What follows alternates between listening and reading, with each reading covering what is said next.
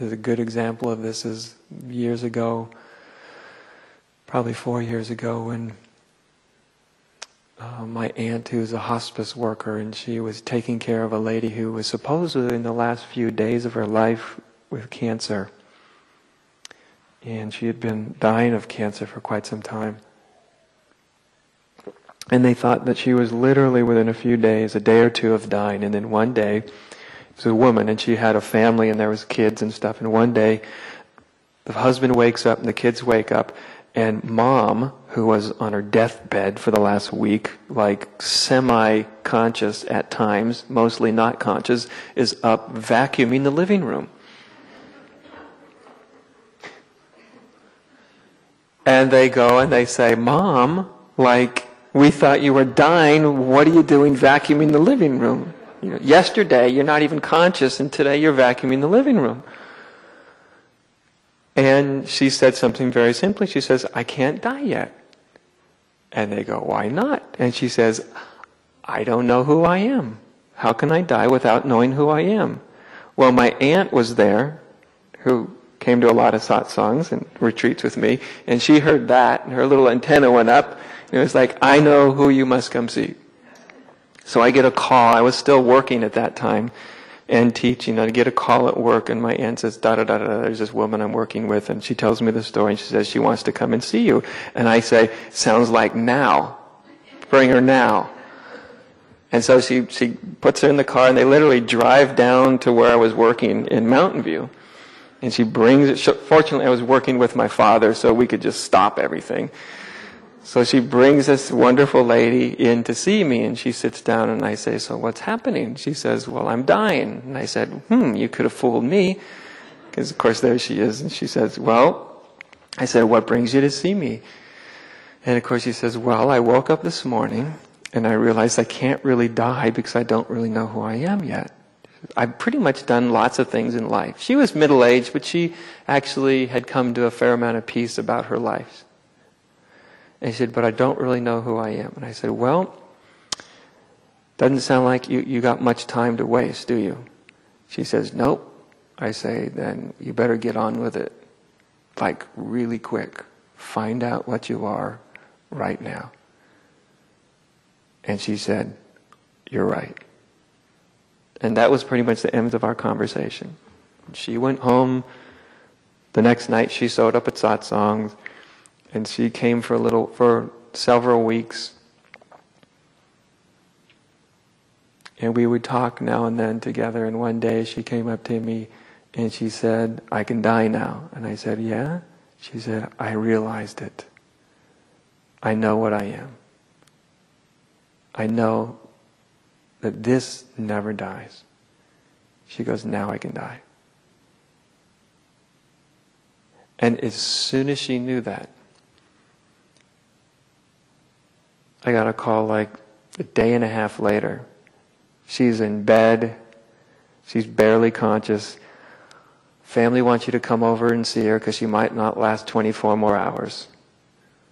So the wisdom of something that was very deep inside of her when she was almost dead, literally, got her up out of the grave almost, got her to really look at what was really true. Because, of course, for her, none of her energy was now going into sustaining her life. You see, none of her psychology, none of her process was involved in all of the trivialities. You know, who's right, who's wrong, this, that, this, that, what I think, what I don't think, who I like, who I don't like, da da da da da. All this stuff, there was no time.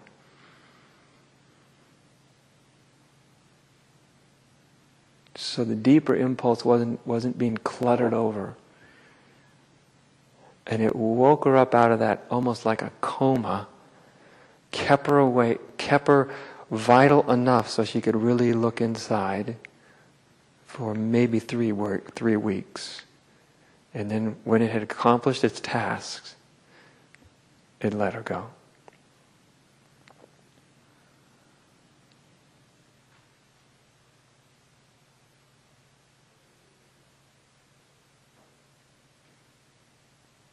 That eternity woke up within her. She realized what she was.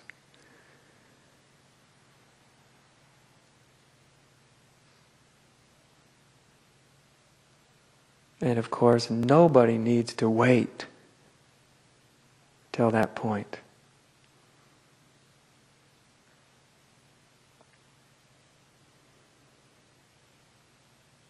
Only all we have to do is look at what's really important. What do I really want? It helps clear away this clutter of the egoic trance that's literally in a trance.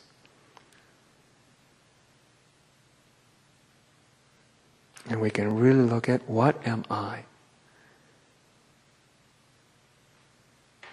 Not how can I do this? How can I do that? How can I heal this? How can I heal that? How can I get a better job? How can I do that? What am I? You see, it's like even though it just sort of clears this trance away, what's actually important? Of course, if that's not important, you know, that's perfectly okay.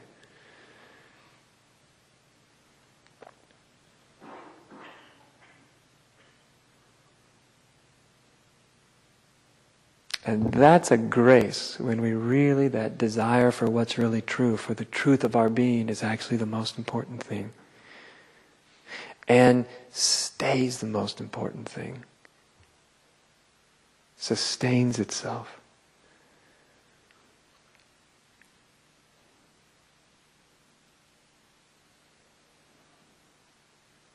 And it's amazing when that starts to happen in a human being because just as that saying that Jesus said, seek first the kingdom of heaven and all else will be added unto you, only when that desire for truth sustains itself, and when we realize our, the truth of our being to be the one, when our love of that sustains itself, you see, it wasn't just seek first the kingdom of heaven until you realize it and then forget about it. Right? Because you can. You can actually wake up and then find that there's a lot of other things more important to you than being awake. But when it sustains itself, then that's freedom. Then mysteriously, the rest, all else is added unto you. It means that you, when you are really awake in the truth, you find that you just sort of fall into this flow probably everybody in this in this room at times has just sort of been in a moment of flow or a day of flow or a week of flow or a month of flow. You just sort of start to flow. When you're sort of in a process of flow and that state of surrender then things start to be added unto you. Opportunities come to you. You don't have to make them happen. Things open up. You don't have to keep constantly be prying open doors. They just they start to open things mysteriously start to start to order themselves. Life just starts to sort of unfold for you. It doesn't mean that every single moment is just, you know, that you just sit on your couch and let everything happen. It's not what I mean to imply. That you're actually flowing with the movement of life itself.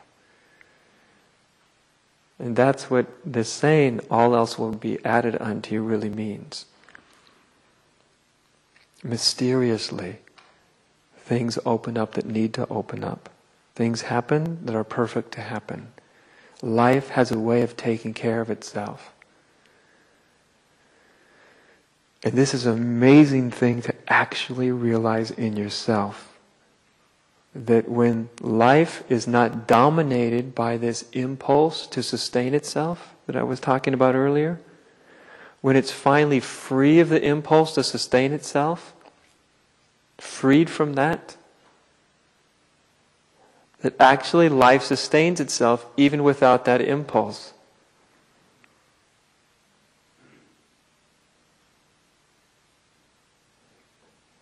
And in a small way, you've probably heard like, you, when you really let go of what you really want, that's when you tend to get it.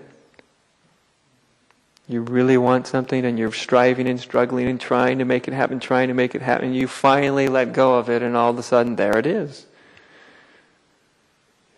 Egos think, I must strive to survive. I must strive to get what I want. I must, I must, I must, I must, I must. That's the trance.